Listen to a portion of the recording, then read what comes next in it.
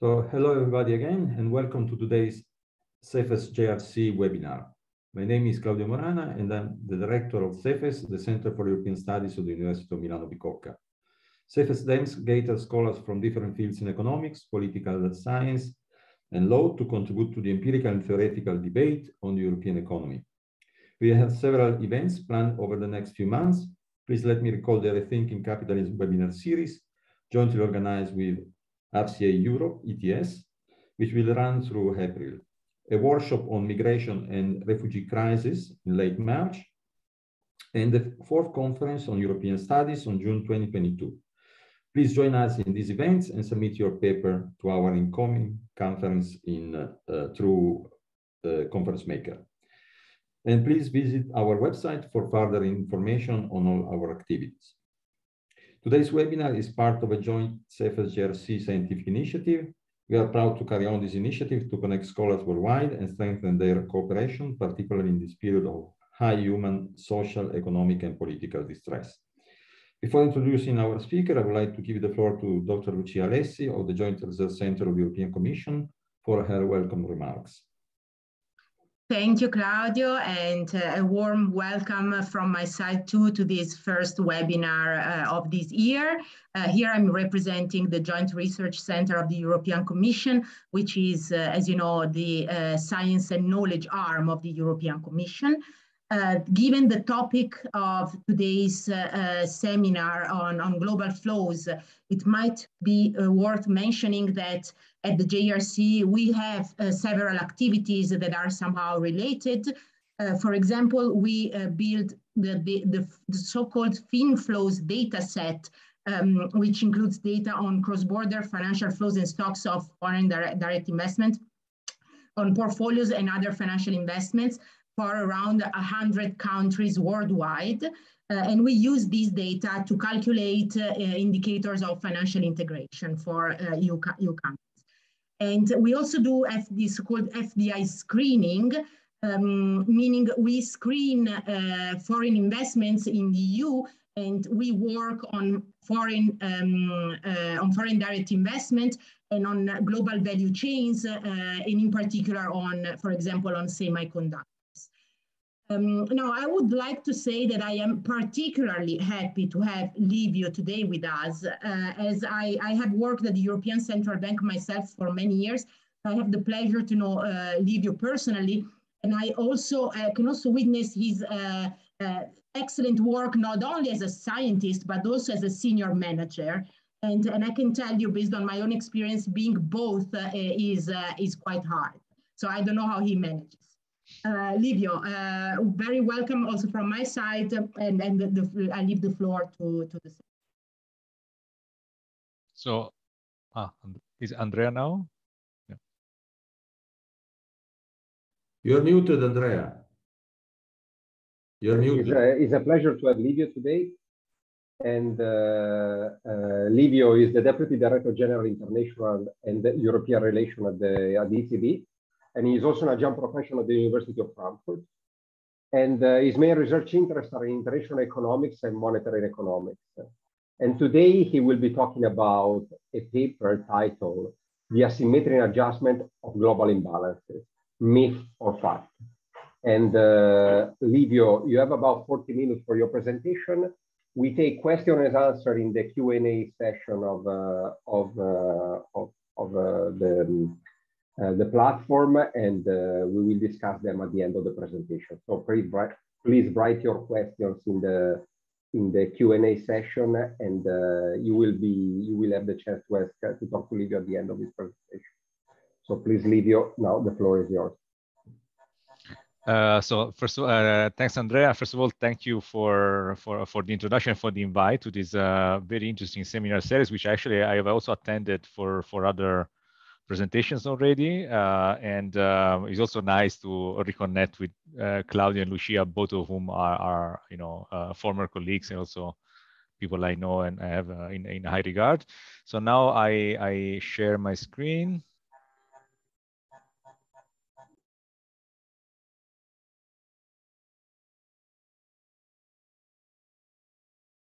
Okay, now I'm hoping that you will soon see um, the slides on your screens? Yes, we see them. Okay, super. Okay, so this is a uh, is is a rather preliminary work uh, together with Neus Dauza, who is uh, now um, a graduate student uh, at the European University Institute. Um, but uh, this work was mostly done when she was uh, um, also a trainee in the European Central Bank.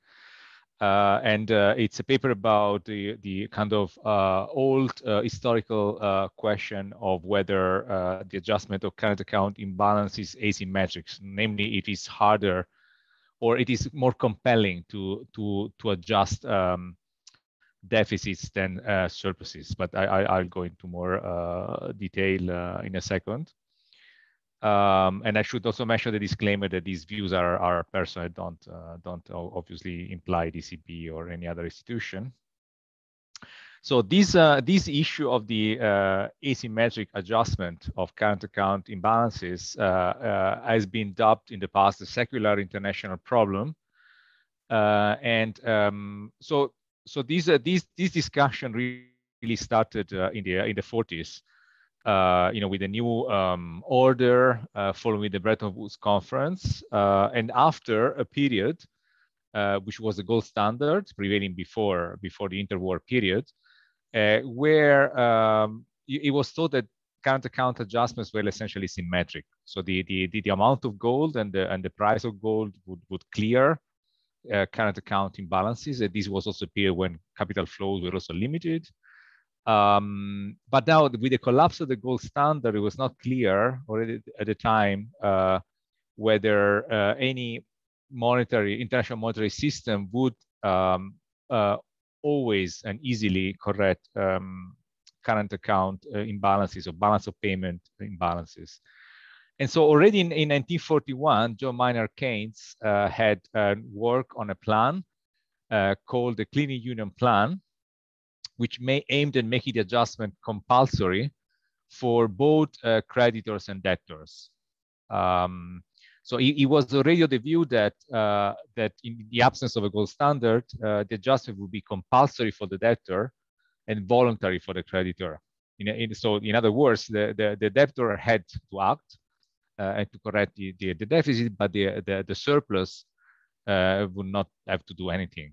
Um, so, so uh, in the in the 1941 Clearing Union Plan, uh, one, um, um, one, one key feature was that uh, that creditors could not uh, charge high interest rates uh, for lent to debtors, uh, and then there would be an an international clearing bank that um, would basically correct all imbalance, including surplus imbalances. Um, so as, as, as we will um, see in a second, uh, things didn't go his way uh, during the Bretton Woods conference. Uh, but since then, the, the, this question of symmetry adjustment has resurfaced um, uh, in, in uh, international forum, international meetings. So I am myself witness in my um, policy experience, which um, Lucia was, was referring to before, uh, uh, I've witnessed several times in which um, uh, representatives of creditors and debtors have argued um, in favor or against the idea that uh, the adjustment is asymmetric. And typically the, the, the deficit uh, countries always argue that they have to do all the work uh, in the adjustment. So at least at the level of perception, uh, of policymakers, this this asymmetry is is well uh, entrenched. So the the existence of this asymmetry is, well entrenched. Uh, okay, so during the the Bretton Woods conference, and um, as many of you maybe uh, already know, there was a, a very good account uh, of that uh, in the book by Benn Steil, The Battle of Bretton Woods. Um, I mean, it, it, the book, by the way, is full of historical um, uh, interesting facts, including the fact that Harry Dexter White, who is the man uh, on the left side, uh, the, the um, American host of the conference, uh, was also a kind of Soviet spy. Uh, and also died uh, before being prosecuted. and the man on the right is John Maynard Keynes, obviously. And so the, these, these two were representing the two major powers at the time, the, the US and the UK. and and as probably uh, you uh, as you already know, the the UK at the time was a was a big debtor country, and the US was a creditor So, you know, in the case of the US, very different from what is the situation now. Um, and so the the uh, because the U.S. had the upper hand uh, uh, economically and in other and politically in other ways, uh, in the end, Keynes' um, clearing union plan was sidelined, and um, and the Bretton Woods order, including the IMF and so on, was created.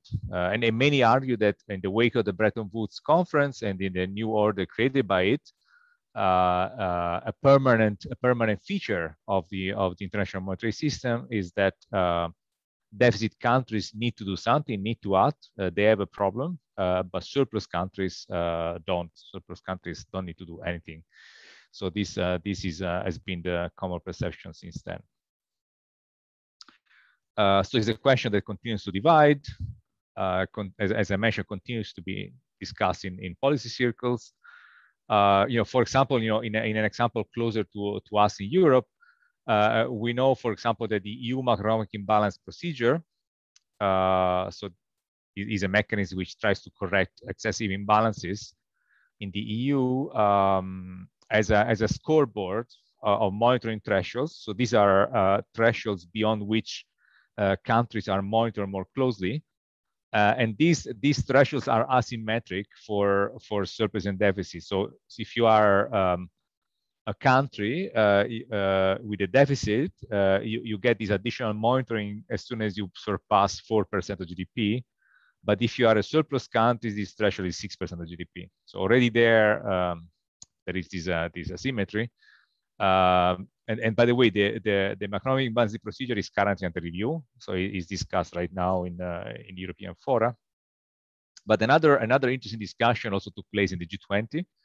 And this was, uh, I think, about a decade ago. So there was also there the idea to have uh, some kind of monitoring thresholds. If you have excessive uh, current account imbalances, uh, you will be um, subject to more yeah, monitoring. Uh, and, and at the time, of course, there was this uh, this issue of U.S. Uh, uh, deficit versus Chinese surplus. so as you can easily imagine, this this this discussion went nowhere. So these norms were actually never really introduced. Um, but also there, um, this discussion of the asymmetry was also was also important. Uh, but even despite of all this uh, story and so on, uh, there isn't much really formal research on this question. Uh, and so this paper is it, this is really what we we we try to to do, at least to, have a first pass uh, at this question with a, in, in a more rigorous way. Uh, so the first question we have to ask ourselves is what do we mean by a symmetric adjustment of current accounts? Uh, so obviously, arithmetically, surpluses and deficits need to match. Uh, so we know that in practice is not the case uh, because of these um, part uh, called errors and omissions, which doesn't adapt globally.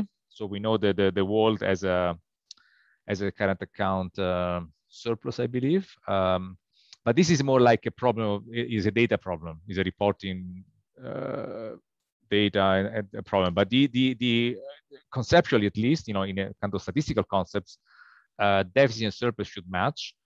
Uh, and so, so current account are in sense essentially relative positions. So you can't really say, you know, that country is uh, so the deficit is adjusted, but the surplus not, because when, whenever the, sur the, the deficit adjusts, also the surplus adjusts. is a relative variable. Um, so, so here, uh, so what we, we, we, we say here is that uh, you, you could envision a situation where the asymmetry is in the degree of policy activism. So what is the null hypothesis uh, or the hypothesis we want to test is whether is, is that countries, deficit countries need to tighten policy and then we, can discuss exactly which policy, but, but basically deficit countries need to do something uh, while the surplus countries don't need to change anything in their policies. So you can have, you can think of an adjustment where all the policy action is on the side of deficit countries. Um, but which would then result in an adjustment of relative um, deficit and surplus positions, which then implies also shrinking of surplus positions. So the the so in the sense you don't see the you don't see the evidence in the in the in the raw uh, uh, deficit and surplus positions, but you see the difference in, in in terms of how policy deviates from from from the level you would observe in the absence of these external imbalances. So you you would observe a deviation only in deficit countries, or you don't observe a deviation in, in surplus countries. So the, this this is the hypothesis that this asymmetry implies. Uh, so, so our, our, paper tries to to to to give a bit of a, a also theory and and empirical evidence uh, around around that. So before I go into uh, the details of what we do, I think it's useful that I give a bit of punchline or or the key findings. So first of all, we have a, we have a kind of a small uh, um, simple model analysis uh, and this this model analysis gives a little bit of story, um, formalizes the story um, that that you know all of us may have in mind in, in, in terms of why um, only deficit countries need to act and not and not surplus countries. Uh, so um, so so we find uh, uh, in this simple model that um, deficit countries have you know used fiscal policy to react more countercyclical to deficits, but but surplus countries don't need to do that. Uh, and then in terms of facts, uh, what we do, we, we look at um, um, a number of current account adjustment episodes. So either deficits that get corrected or surpluses that get corrected. So, so we have a, a sample of, of um, adjustment episodes in, the, in, in um, advanced and emerging countries. And then we look at what happens in this, uh, around these episodes. So we look at how, which variables are correlated uh, with, with, you know, how, how a bunch of variables behave around these adjustment episodes, distinguish between surplus and deficits. And in general, we find no widespread evidence of, of, of asymmetries between surplus and deficit adjustment. So you don't, we don't see a lot of asymmetry. So the, the, the just the, the, the, the raw data around the adjustments look relatively symmetric. Uh, one, one key find that we uh, identify, however, is that uh, since that deficit adjustments are more correlated with import compression, so basically imports go down uh, and export, exports remain unchanged, while the surplus adjustment are associated with export compression. So when when uh, when countries adjust surpluses, uh, exports are reduced, but imports are unchanged.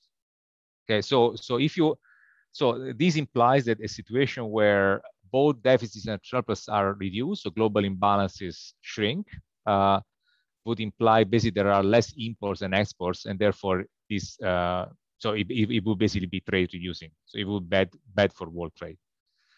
Um, and then the final part of the analysis is, is a panel regression, where we we we focus on fiscal policy because fiscal policy is, we believe the key tool that at least you know in the, in the policy debate is associated with more or less policy act is in relation to, to, to current account imbalances. And in, in, in terms of reduced forms, we, we, if you just regress fiscal policy on current account position, on, on, on lagged current account positions, you don't find any uh, clear evidence of, of reduced form relationship. But when you, when we um, uh, consider uh, exogenous shocks to the current account, which are essentially trade shocks, and will describe later in concrete what I mean, uh, there is some evidence of asymmetry. So we do find that fiscal policy is indeed countercyclical only for deficits. So, so in terms of, so even though in terms of reduced form, we don't see this, this asymmetry, if you condition on, on a, well-identified shocks, uh, uh, then uh, this, this asymmetry kind of resurfaces. Uh, so I should mention this is work in progress, so any any comments welcome because it's still uh, it's a paper we, we still have to, to submit anywhere. So um, let me go quickly through the previous literature. So there, has been a, a, a, literature on, on current account um, adjustments. Um, and um, I mean, there, would, there would be older papers, I mean, several of them by uh, Sebastian Edwards on, um, on the role of sudden stops for current account reversals uh, and, and how basically, you know, one story which comes out uh, is that uh, uh, often these reversals are associated with sudden stops. So, so you, it's not that countries really want to reduce the deficit, uh, but it's more they are forced to reduce the deficit by sudden stops.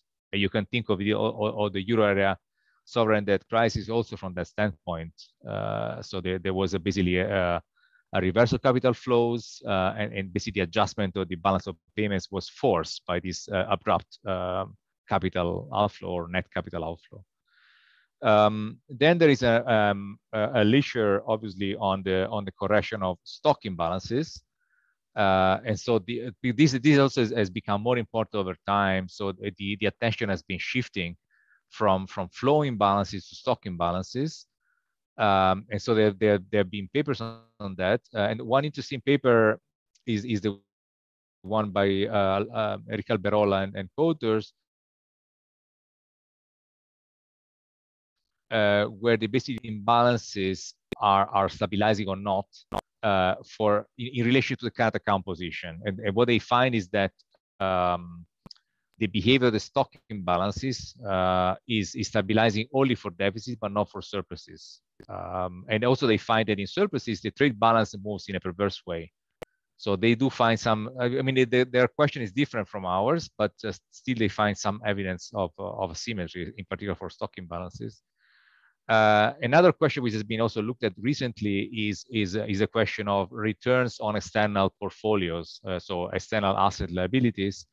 So um, some papers, for example, Adler and Garcia Macia, uh, they found that um, uh, they have looked whether uh, the returns on net foreign assets is stabilizing or destabilizing uh, in terms of the current account position. So if you are in a surplus country, uh, do you lose, uh, do you do you get negative um, uh, returns uh, that tend to that, that tends to stabilize stabilize the current account or or the net uh, uh, financial asset position?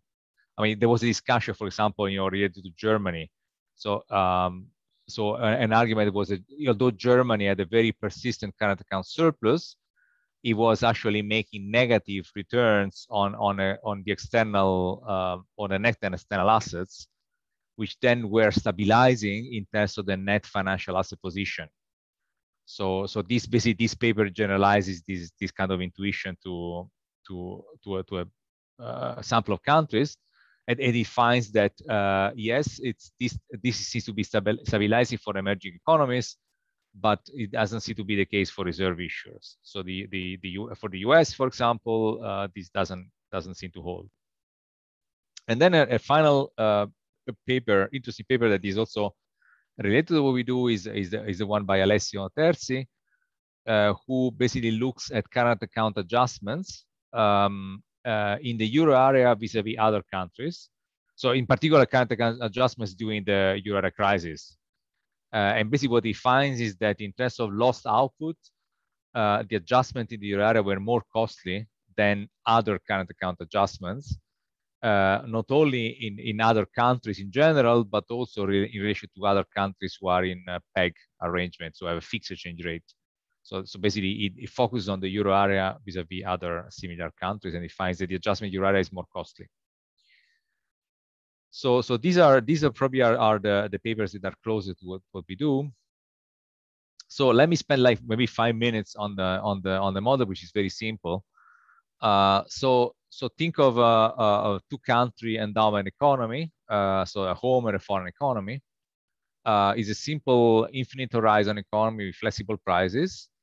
Uh, and, and suppose that the home consumer, so think of this as, uh, you know, um, let, us say uh, Greece and Germany, okay? So, um, so suppose that the, the Greek consumers are, are subject to a time preference shock, so they become more impatient. So they want to consume now. Um, and but if, if when the Greeks borrow from the Germans, uh, the uh, basically they had to pay an interest rate premium on uh, on their on their foreign debt, uh, and, and, this is what creates the asymmetry. Uh, and uh, and the government controls the next the net government spending, and can also internalize the debt externality. So um, so in practice, the model was like this. Uh, so we have log utility over consumption. So um, uh, the usual usual uh, expected utility. The, the, the, the time discount factor beta is subject to time preference shocks. Okay, so so uh, a, a, fall in this epsilon shock uh, indicates uh, more impatient consumers. Okay, so the consumers want to consume today and not tomorrow. And in terms of the, uh, the budget constraint, you have this uh, uh, debt accumulation. That so debt is B, capital B. You you can think of this as foreign debt, okay? Uh, and then you have G, and G is uh, is basically net government spending. So you can think of G as uh, a kind of a fiscal policy. Um, so so the think of, think of the, the, the government as a constant discount factor. So the government, the, the Greek government, so to speak, is uh, is more patient than the Greek consumer. So the um, the government as, as a fixed uh, constant discount factor. Uh, and finally, B and G, so, so the net foreign debt and fiscal policy are subject to adjustment costs. Uh, and we we also impose that these adjustment costs are bigger for G. So fiscal policy as a, as a bigger adjustment cost. So you can think of this as a fiscal policy being kind of costly and, and long to, to change. Yeah, you need parliament approval, etc. Uh, so in, in and then we, we assume that there is a debt elastic interest rate. So the, the interest rate is given by the inverse of the, um, this is a gross interest rate, the inverse of the discount factor. And then there is a, a, term, uh, gamma B, uh, which is basically uh, the, um, the, the you can think of a risk premium. So the, the, the higher the debt, the, the higher the interest rate. And this is uh, a feature which several other models have, is, there is nothing new in there. Uh, so in the decentralized solution, the consumer stakes are as given. Uh, so each, each Greek citizen doesn't care uh, about the existence of this risk premium. Uh, but in the domestic social planner solution, so the Greek government internalizes this constraint, constraint uh, and therefore sets fiscal policy to partly counter the time preference shock. Okay.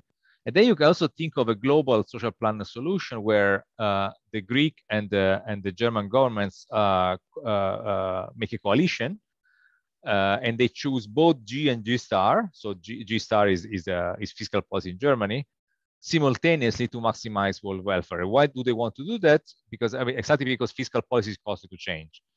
So, uh, so because the German government knows that in the future it's going to be Germany who has the, the, the time preference shock, uh, it may be uh, more convenient to minimize the adjustment cost just to um, you know to to stabilize to stabilize uh, uh expenditure and therefore debt uh, uh, together with the together with the Greek government. So you can think of this, loosely speaking, as, as, as a euro area fiscal policy kind of. Uh, so this is the these are the parameters for the for the calibration, which are not very interesting. So so this is what happens in the in the in this very simple model once you have a home uh, time preference shock in the decentralized solution so where where uh, the citizen decide so the the home consumer becomes more impatient uh, as, as i said uh, and therefore consumes more uh, by borrowing from a foreigner so the the the greeks borrow from the germans and this creates a current account deficit uh, but uh, also, uh, domestic citizens pay a premium on foreign debt, which, which they take as given. Uh, and the government actually partially compensates for this. So you have a, a, tightening of fiscal policy, but not a, not a very big tightening, but you have a tightening of fiscal policy. So the Greek, the Greek government, because remember, the Greek government is more patient than, than, the, um, than, the consumers, tightens fiscal policy.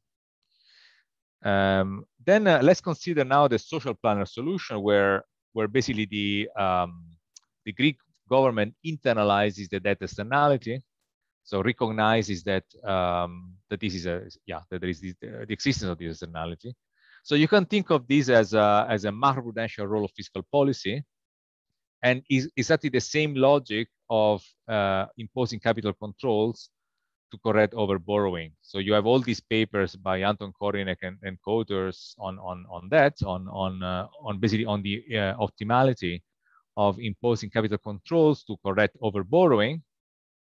And I mean, a, a, similar logic is, is, uh, is a place here. So, so it, basically the, um, the um, uh, home fiscal policy makes an extra tightening. And you, you can see basically on the, uh, in the um, uh, second to the right, the middle to the right um, uh, figure, uh, you see that so the red is a social planner solution, the blue is a decentralized solution. So you see that fiscal policy is, is tighter uh, in the in the um, social planner solution, and this only is importantly only happens for deficits.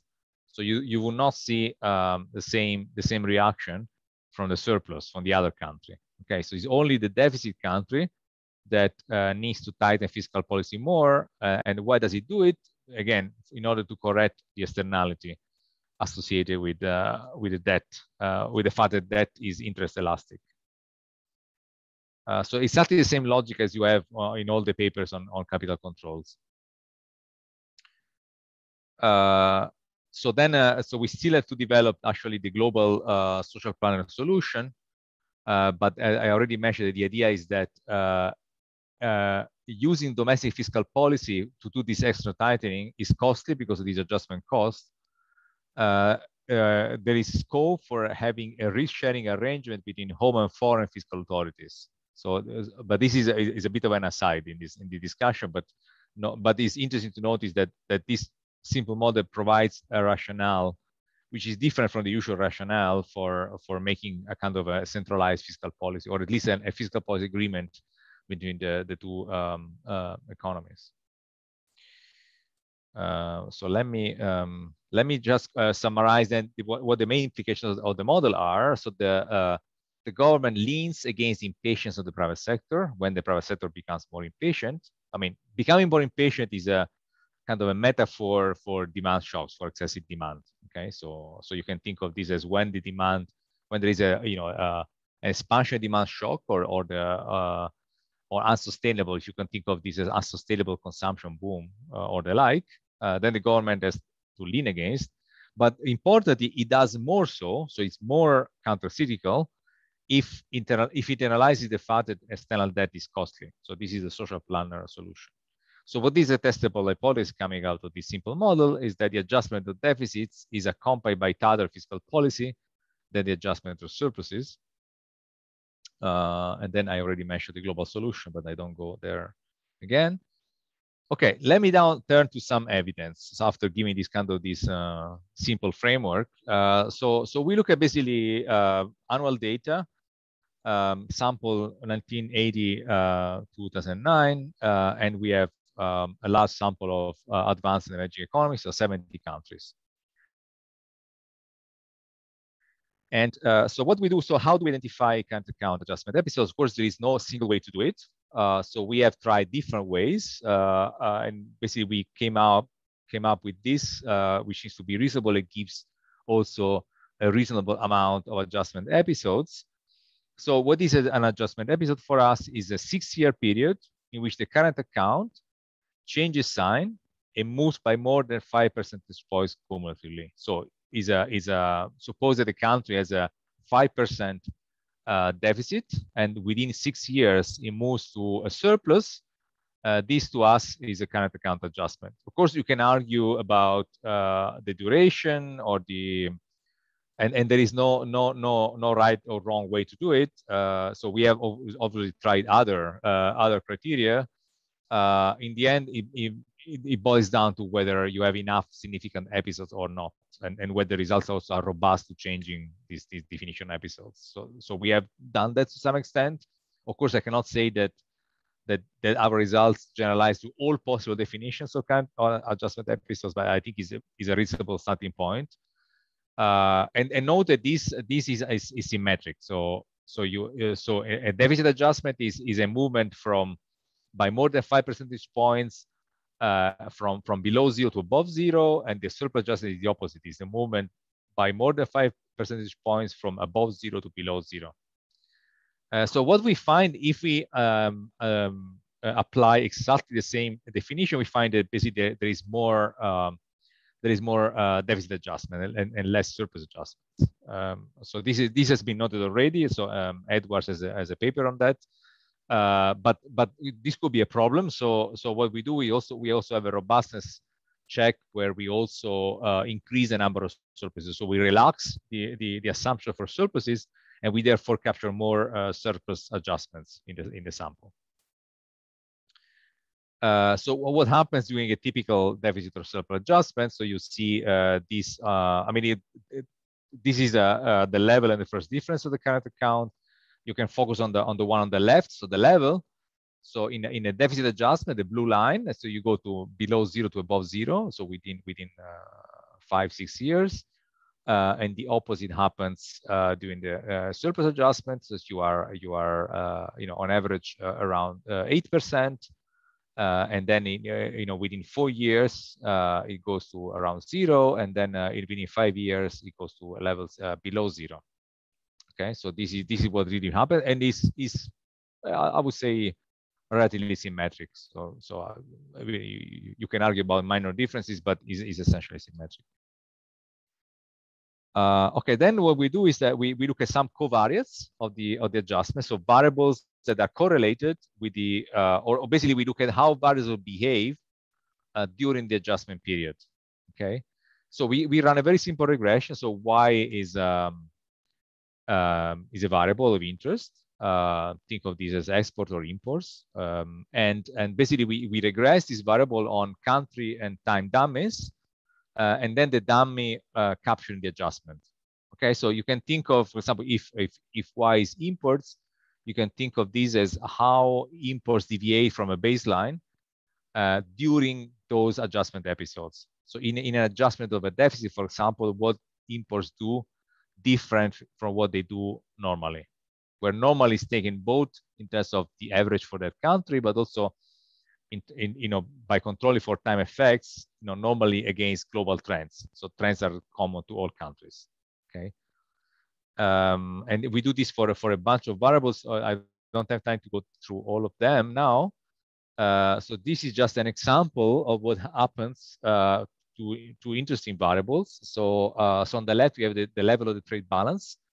So you, you find, and probably predictably, that um, that the trade balance is is is is is, is highly correlated with with what uh, the, the, the current account adjustment does, because of course the trade balance is a very important component to the current account. So uh, so you find that there is a marked improvement in the in the trade imbalance, the trade deficit in uh, in, in deficit adjustments, and there is a marked market reduction in the in the trade balance to GDP in surplus adjustments. And on the right, you you see the um, valuation, uh, uh, the valuation component. So here, this uh, speaks more to the question of whether uh, the valuation is, is uh, stabilizing or destabilizing. Uh, and so what we find here, so the valuation is, is basically is, is, the net value of your foreign portfolio, well, is, is the value of foreign portfolio considering both assets and liabilities. No? So how, how the value of your portfolio changes to, due to changes in, in price and exchange rates. Uh, and and this uh, uh, we find that um, it actually for a period at least it moves against the the adjustment. so it namely becomes more positive for surplus and more negative for for deficits. So in a sense, it's uh, it, seems to indicate that it, go, that it moves against uh, the adjustment.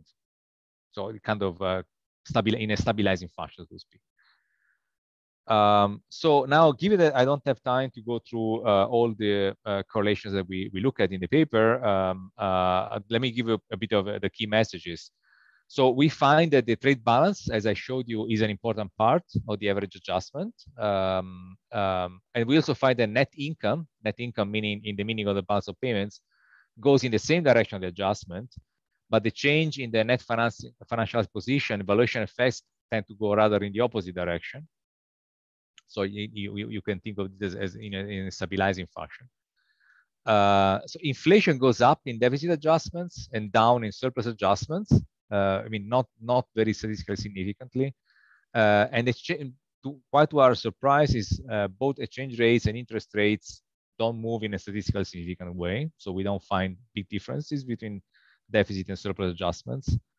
Uh, we find that the primary balance, which is our measure for, for fiscal policy, becomes tighter in surpluses and looser in deficit adjustments. So this is a little bit the opposite of what what you would expect. Uh, uh, but of course, it depends on what shock drives what. So, so, so from a reduced form, and, and I'll come to that in a minute, uh, you can't say, say much. But, but certainly this evidence is this kind of reduced form evidence doesn't really scream uh, that um, that the deficit countries need to run a counter-cyclical fiscal policy. So quite the opposite. They actually loser. They have loser fiscal policy. Um, uh, there is no important difference for pegs because we also consider these correlations only for pegs. um, you know, distinguishing pegs from floating from floating countries, but doesn't seem to be big difference. Um, and also uh, remember that we had uh, a robustness exercise where we had more surplus adjustments because in the baseline we have more, many more, significantly more deficit adjustment and surplus adjustments. So we have more. Uh, so when we uh, expand uh, the number of surplus adjustment episodes, again, very similar results, no major difference. Um, and on, in general, if you consider asymmetry, we find that on most dimensions, deficit and surplus adjustments are, are the mirror image of each other. So not big difference. However, as I already mentioned before, one important difference, deficit adjustments are accompanied by import compression, so uh, lower imports, surplus adjustments by export compression, so less exports. And this is an important difference. Okay, now in the last uh, maybe like five minutes, let me focus uh, on fiscal policy. So given that, you know, fiscal is, is, is, is probably in the common narrative, uh, an important part of this idea that um, that in general you need to have more policy activists uh, in, in, reaction to deficits. Um, so we, we, we try to go beyond simple correlations. And um, I mean, we are also a bit inspired by our model where, where, where as, as I explained, the shock uh, that leads to current account deficit um, uh, should optimally elicit uh, a tighter fiscal policy. So, so we investigate this by running some panel OLS regressions uh, where our dependent variable is, uh, is the primary balance, which is a kind of a rough estimate, rough measure of, um, of fiscal policy. Uh, so here we have an endogeneity problem, clearly. so the so so causality could run from the fiscal bile to the current account, and not only from the current account to fiscal. So you, you can think of the, the, the huge literature on the so-called twin deficits. Um, so, uh, but what, what is the direction of the bias? So, so the, the direction of the bias is towards finding a positive, a more positive link between the primary balance and the current account. Okay, so a tighter stance of fiscal policy should lead to current account surplus. Um, so so this is so so the, the the the reduced form relation between fiscal policy and the current account is likely to have a positive bias. Uh, if you if you think of the uh, of the story that um, uh, that, the, that the current account deficit drives uh, tighter fiscal policy, then what you would observe is a negative coefficient. So you would observe that uh, that you have a higher primary balance in reaction to more negative current account levels. Okay, so this is this is uh, and and uh, it's not easy to disentangle all these channels. Um, so so we, we we we give a go in this paper in the following way. So we we we, we try to build uh, current account shocks or exogenous shocks uh, that are you know can be thought also as a, as a, as terms of trade shocks. So so the basic you can think of it as an external instrument, which is based on the interaction between uh, the change in the oil price so we, we, take the oil price is a global variable, so it's not influenced by any individual country. Uh, and then the, this this one is this this this variable is interrupted with a lagged oil trade balance, which is uh, you can think of it as the country sensitivity to the global shock. So so for example, think of a situation where the the uh, the supply shock pushes the oil price higher, uh, these uh, hits more oil importers and exporters, or, or, or if you are a more oil importer, I mean, most of the countries in our sample are actually oil importers. But if you import more oil, or if you had, if you used to import more oil before the shock, um, uh, then uh, uh, then basically you you experience a larger current account deficit as a response to that to that um, shock. Okay, so you, it's a negative transitory shock for oil importers. So, so there's there, there have been papers, uh, for example, Bodenstein, Erceg, and Guerrieri, showing that um, the current account of oil importers need, needs to converge back to sustainable equilibrium. Uh, and so you have you have you have basically a, a, shock to the current account and also the need of a correction in the current account, which is exactly what we have in mind in the in the analysis of episodes. So, so we want to have a situation where where there is a current account and then uh, and then it's uh, is corrected over time. Um, so so the shock again is uh, is a combination of the change in the oil price uh, and the lag uh, country level oil trade balance. Uh, and then we can uh, basically take a moving average of the shock uh, because it makes things more, more kind of more persistent. So the question is, is, is, is, is we believe exogenous, but is also relevant. And here in this regression, we show that uh, this shock is actually relevant. So it's, it's a relevant driver of the, of the current account. Uh, so, so this regression shows that is, is statistically significantly associated with, uh, with the actual current account position. So this, this current account shock is important, is, is a driver. Not important, well, it's not exactly important, but certainly is a driver of current account positions. And so what we do uh, here is basically we, we regress, uh, we regress uh, the primary uh, balance, the government primary balance on, on a bunch of control variables on which I, I will not spend time, but it is the usual uh, GDP, inflation, etc. Uh, and then we, we regress on this exogenous current account shock that we have uh, that I described. Uh, and we do this in, in a symmetric and asymmetric fashion. So the symmetric is simply the, the simple regression. The asymmetric is, is, is, is one where we distinguish positive and negative shocks. Okay. Uh, and, and this is this is what the regression shows. Now here, I probably don't have time to go through the uh, individual coefficients. You have to trust about my description we find, but basically what are the key messages from these from these regressions? Um, so we find again there is no clear reduced form relationship between the primary balance, so fiscal policy, and the current account. And this is true also for the current account shock in the symmetric specification. However, when uh, we distinguish positive and negative values for this current account shock, so either improvement or, or deterioration of the terms of trade uh, for oil importers, uh, we do find uh, clear evidence of asymmetry. So we, we find that uh, uh a, a, shock driving to more surplus needs to needs to um, a tightening. Um, um, no, sorry, leads to yeah to a tight. So basically, both lead to a tightening of policy. Uh, uh, but uh, but but basically the the you know the sign. So for deficits, we do find evidence of this tightening that we were observing, that we were kind of expecting in in the theory part. So, so only only when we look really at the shock driving the current account and, and, and when we look at exogenous shocks uh, in order to uh, uh, kind of sort out this question of causality, then, then we find some evidence of, of asymmetry. Uh, we are still trying to understand why we should um, find a tighter fiscal stance also for surpluses. Um, and we also work in progress that we are doing right now is to try to interact the negative coefficient with country characteristics. So this counter-cyclicality of fiscal policy when faced with current account shocks, is it due to the change reg regime, the quality of institutions? So what drive, what, what country fundamentals drive this kind of counter-cyclical reaction of fiscal policy to current account deficits, which we seem to find in this uh, shock-based analysis. So given that I'm now short of time, I'll, I'll let, let, me conclude uh, just by uh, recapping briefly what, what we, we have done and we find.